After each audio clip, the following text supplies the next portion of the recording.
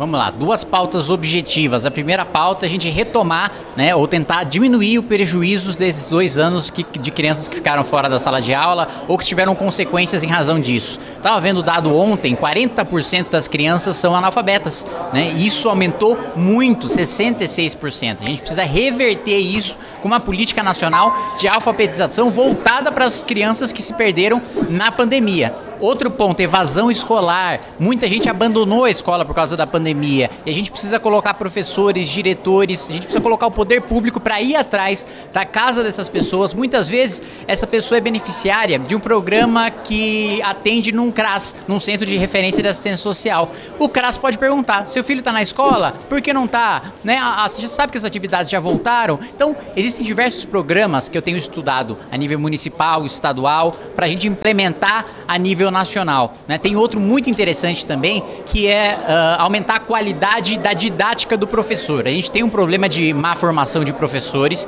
e isso, uma das soluções para isso, é você pega um professor que é exemplo, um dos melhores professores do estado da região, Uh, esse professor ele vai receber uma bolsa para que ele tem 20 horas de aula e tem outras 20 horas. Nessas outras 20 horas, ele recebe uma bolsa para ensinar outros 20, 30 professores até a mesma didática do que ele. Né? Então, o meu foco como presidente da Comissão de Educação é primeira infância, que é onde cientificamente está comprovado, existe um cientista né, chamado é, Heckel, que diz que cada um dólar investido numa criança de 0 a 6 anos, né, 13 dólares depois são revertidos na sociedade. E no Brasil não. No Brasil a gente começa a construir construir a casa pelo telhado. A gente investe três vezes mais no ensino superior do que no ensino básico. Então, essa é uma pauta, né? Retomar, principalmente da primeira infância, o prejuízo que a gente teve na pandemia.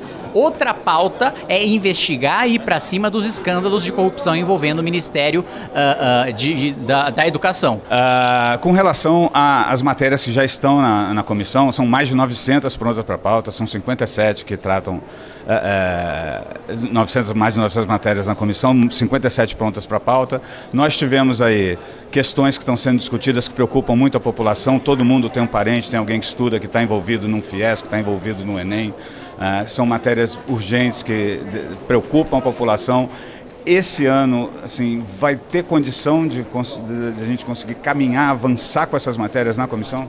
Olha, na comissão o que for de competência do Poder Legislativo, a gente vai avançar. Seja no ensino médio, que eu acredito que tenho conversado muito com o ex-ministro Mendonça Filho sobre a reforma do ensino médio, que, cujo prazo limite de implementação é neste ano. Quero aperfeiçoar esse novo ensino médio para a gente inserir cada vez mais essas pessoas no mercado de trabalho, que muitas vezes são pessoas em situação de vulnerabilidade, que a família, uh, que o sujeito frequenta a escola para ter merenda, para ter o que comer. Do ponto de vista do Enem, é fiscalização, né? não tem muita questão legislativa é chamar os responsáveis, chamar o ministro. O ministro deve comparecer à comissão já na, na, nas próximas semanas, né?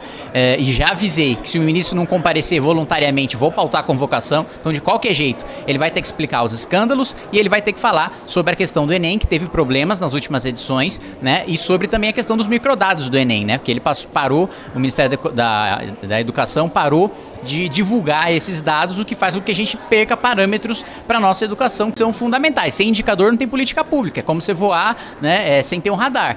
Então, uh, existe espaço sim para essa agenda. Eu vejo muita disposição de trabalho dos membros da comissão. Foi uma das coisas que eu mais escutei, é que os membros da comissão de educação trabalham. Eu, pessoalmente, já uh, disse que a gente deve alongar as reuniões né, da, da, comissão, que geralmente aí ela vai ali das 10 às 12. Eu já falei, bom, vamos das 10 às 14, às 15, vamos alongar, vamos nos estender mais no debate, nos estender mais nas matérias complexas. Tem coisas que não dá para provar rápido, tem coisa que é complexo, que você precisa ter o debate, que você precisa ter, marcar a posição, ouvir técnico, fazer audiência pública. Mas tem matérias mais consensuais que a gente consegue sim é, é, é, aprovar e consegue sim desafogar esse volume de projetos de lei que são colocados seja desafogar aprovando os bons projetos, seja rejeitando os maus projetos.